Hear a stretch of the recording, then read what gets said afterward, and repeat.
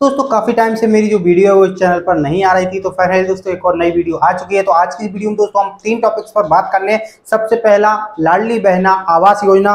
दूसरा, लाडली बहना को जो चार सौ रुपए में गैस सिलेंडर मिलना है, उसके बारे में। और तीसरा, कि अगर आप किसी भी लोन के लिए अप्लाई करते हैं और अगर आपको बैंक वाले परेशान करते हैं तो उसका क्या सॉल्यूशन है?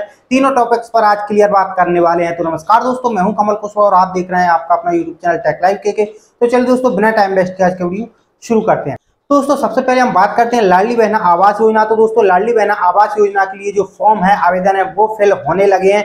सभी ग्राम पंचायतों में जो है आप अपने डॉक्यूमेंट्स अपने फॉर्म जो है फिल करवा सकते हैं। जिन लोगों ने आपका लाडली बहना योजना का फॉर्म फिल किया था, वही लोग आपका लाडली बहना आवास योजना का फॉर्म फिल करेंगे। मतलब आपका जो ग्राम पंचायत के जो सचिव हैं सेक्रेटरी हैं, सरपंच हैं, जिन्होंने अभी आपके जो पहले फॉर्म फिल किए थे, वही लोग जो है उन्हीं की एक टीम रहेगी।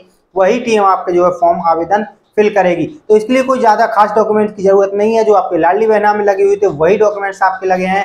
लगेंगे और साथ में आपकी जो प्लॉट होगा, ज़मीन होगी, जहाँ पर भी आपको आवास बनाना है, वो भी डॉक्यूमेंट्स आपका सिंपल सा लग सकता है। साथ में आपका मोबाइल नंबर भी ओटीपी के लिए आपका जो है लिया जा सकता है। तो इन सब चीज़ों के माध्यम से आप जो है, लाडली बहना आवास योजना का फॉर्म आसानी से फिल कर सकते हैं। इसके अलावा अगर आपका इसमें कोई डाउट क्वेश्चन है तो आप कमेंट बॉक्स में कमेंट कर देना आपको मैं सिंपल सा जवाब दे दूँगा। अब बात करते हैं दोस्तों, हम लाडली बहना के लिए जो चार सौ में घरेलू गैस सिलेंडर मिलना है वो कैसे मिलेगा? तो इसके लिए दोस्तों सिंपल सा जो रजिस्ट्रेशन है, वो ऑलरेडी चालू हो चुके हैं। आपका जो कनेक्शन है, अपनी जो गैस एजेंसी है, वहाँ पर जाकर आपको अपना आवेदन फिल करवा लेना है।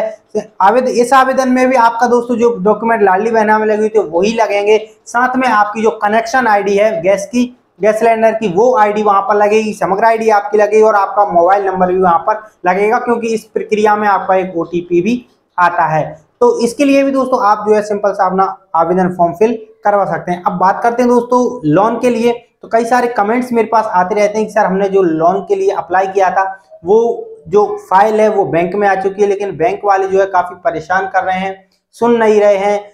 डॉक्यूमेंट की बात करते हैं तो टाल देते हैं, किसी भी प्रोसेस को आगे बढ़ाने में ज़्यादा लेट लतीफ़ी करते हैं, या फिर आपसे लोन अप्रूव करवाने के लिए लोन देने के लिए किसी तरह की पैसे की डिमांड करते हैं तो आपको क्या करना चाहिए?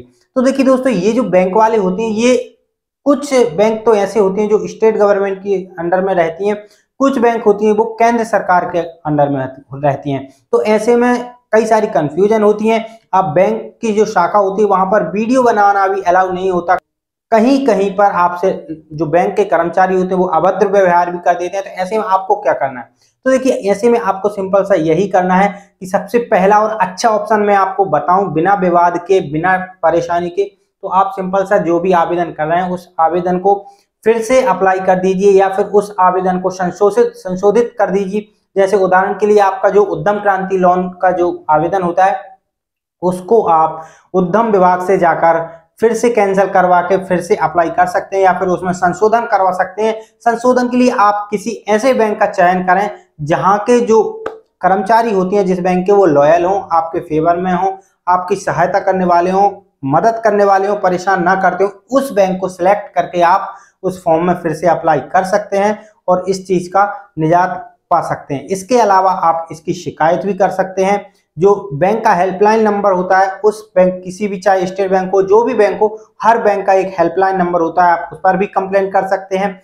हेल्पलाइन नंबर आपको गूगल पे भी मिल सकता है, लेकिन गूगल पर आजकल कई सारे फ्रॉड भी हो जाते हैं। तो इसके लिए मैं आपको सजेस्ट करूँगा कि आपकी जो बैंक शाखा की पासबुक है, उस, उसी पासबुक में जो है आपको हेल्पलाइन नंबर प्रोवाइड कराया जाता है। तो उस हेल्पलाइन नंबर पर कॉल कर के भी आप जो है मदद प्राप्त कर सकते हैं।